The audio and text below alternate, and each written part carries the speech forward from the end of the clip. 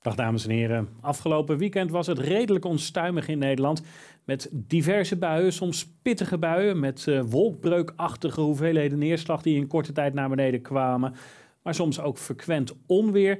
Wat dat betreft was vandaag toch wel weer de rust een beetje teruggekeerd in de atmosfeer. We zagen zowaar wat meer blauwe luchten.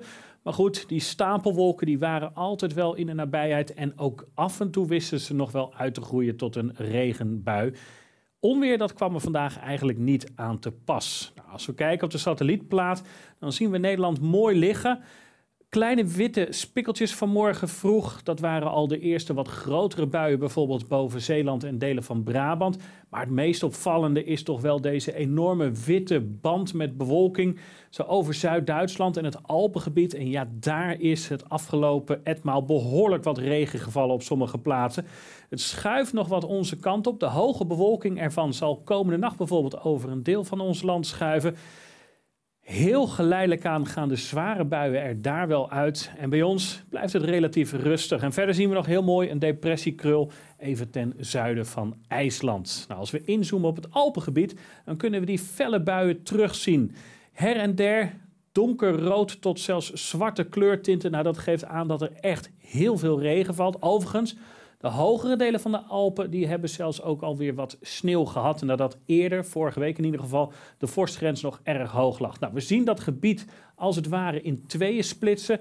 Er schuift een gebied wat meer richting Tsjechië. En de buien boven het centrale deel van de Alpen die zijn geleidelijk aan wat uh, aan intensiteit aan het afnemen. Dus dat is wel goed nieuws, want het levert echt wel op een aantal plaatsen problemen op. Terug naar eigen land, de regenraden. Ja, dan stellen die buitjes heel weinig voor. Het zijn hele kleine spikkeltjes. Een enkele wat pittigere bui zit ertussen, zoals ook hier bijvoorbeeld uh, richting Zeeland en een stukje richting Vlaanderen. Maar goed, helemaal droog hebben we het dus vandaag niet gehouden. Aan het begin van de avond kan er ook nog wel een enkele bui voorkomen, maar er zijn zeker ook opklaringen. En vannacht, dan verwacht ik dat het droog is in Nederland. Met landinwaarts brede opklaringen, nevel, mist misschien wel. En temperaturen die zelfs tot iets onder de 10 graden dalen. Het is een relatief frisse nacht. Morgenochtend een frisse start. Redelijk wat zonneschijn. Geleidelijk aan stapelwolken die morgenmiddag toch ook wel weer her en der weten uit te groeien tot een kortstondige bui. De droge momenten overheersen. Wat dat betreft echt wel een vriendelijke dag. Waarbij de temperatuur met 19 of 20 graden wel wat onder de maat is voor deze tijd van het jaar.